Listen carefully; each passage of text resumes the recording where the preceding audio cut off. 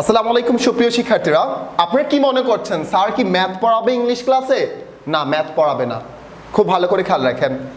Can অর্থ হচ্ছে পাড়া মেই অর্থ হচ্ছে পাড়া মাইট অর্থ হচ্ছে পাড়া তিনটা অর্থ যদি পাড়াই হয়, তাহলে কোনটা আমরা কখন ইউজ করব। প্রশ্ন ছুড়ে দিলাম আপনার কাছে।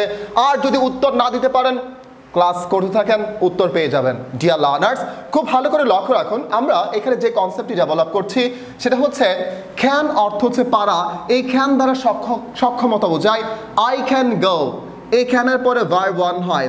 আই ক্যান গো আমি যেতে পারি। আই ক্যান গো আমি যেতে পারি। আই ক্যান ইট আমি খেতে পারি। আই ক্যান রাইট আমি লিখতে পারি। আই ক্যান রাইট আমি লিখতে পারি। এখন প্রশ্ন হলো যে, স্যার, মে অর্থ পারা মাইট অর্থ পারা? তাহলে কখন কোনটা আমরা ইউজ করব।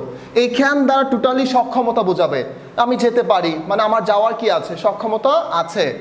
কিন্তু এই যে মে অর্থ পারা মাইট অর্থ পারা আপনারা হয়তো বুঝতে পেরেছেন, এই মেয়ে দ্বারা সম্ভাবনা বোঝায় মাইট দ্বারাও সম্ভাবনা বোঝায়। এখন দুটার মধ্যে পার্থক্য হচ্ছে, একটা দ্বারা বেশি সম্ভাবনা বোঝায়, একটা দ্বারা কম সম্ভাবনা বোঝায়।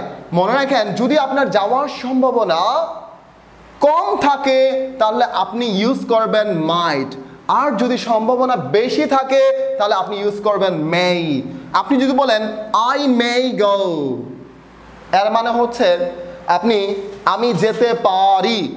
আই মেই গো, হয়তো আমি যেতে পারি। বাট যাওয়ার একটা কি আছে? সম্ভাবনা আছে। এটা কত পার্সেন্ট হতে পারে?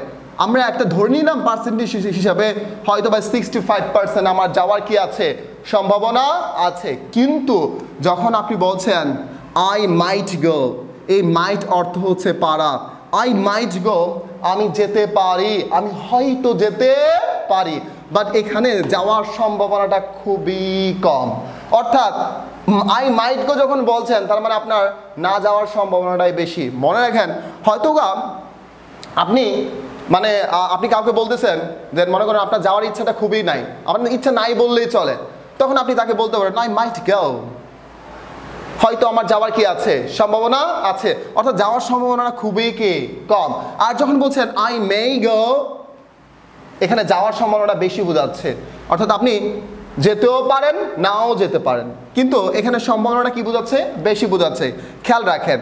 আমি যদি আপনারা হয়তো জীবন অনেকবার শুনছেন ইট মে রেইন বৃষ্টি হতে পারে। তার মানে এখানে হওয়ার কি আছে?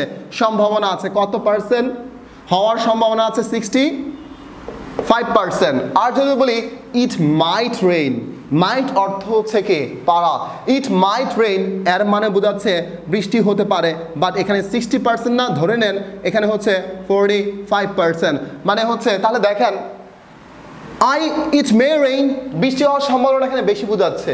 আর ইট মাইট রেইন এখানে বৃষ্টি হতে পারে বাট সম্ভাবনাটা কি বোঝাচ্ছে? কম বোঝাচ্ছে। তাহলে আপনারা বুঝতেই পারছেন ডিয়ার লার্নার্স আমরা কখন মে ইউজ করব, আমরা কখন মাইট ইউজ করব। ঠিক আছে? সো তাহলে আমরা বুঝতে পারলাম ক্যান দ্বারা সক্ষমতা বোঝায় মে দ্বারা পারা বোঝায়। ক্যান দ্বারা অর্থ পারা মে দ্বারা অর্থ পারা মাইট অর্থ পারা। পার্থক্য কোন জায়গায়? ক্যান দ্বারা টোটালি সক্ষমতা বোঝাবে? আই ক্যান গো আমি যেতে পারি, আপনি ইচ্ছা করলে যেতে পারেন বাট এই মেয়ে দ্বারা সম্ভাবনা বোঝাবে, আর মাইট দ্বারাও কি বোঝাবে? সম্ভাবনা বোঝাবে, যেখানে বেশি সম্ভাবনা, সেখানে মেয়ে, যেখানে কম সম্ভাবনা, সেখানে হচ্ছে কি মাইট আপনারা হয়তোবা একটা বিষয়ে শুনেছেন যেন অনুমতি অর্থে মে ইউজ হয়। যেমন may I come in sir আমি কি আসতে পারি স্যার এখন মে কেন ইউজ করতেছেন? জানেন কারণ স্যার যদি অনুমতি দেয়, তাহলে তুমি যাবেন। আর যদি অনুমতি না দেয়, তাহলে আপনি যাওয়া কি না? পসিবল না। এই জন্য আমরা ইউজ করি কি may may so I hope that you got it আপনার এই কাঙ্ক্ষিত উত্তর আপনি পেয়ে গিয়েছেন। এখন থেকে আপনি এটার ব্যবহারটা আপনি করতে পারবেন। ঠিক আছে? তো সুপ্রিয় শিক্ষার্থীরা, নতুন আরেকটি ভিডিওতে আমাদের সাথে আপনাদের সাথে দেখা হবে। সেই পর্যন্ত সবাই ভালো থাকবেন, সুস্থ থাকবেন। আসসালামু আলাইকুম।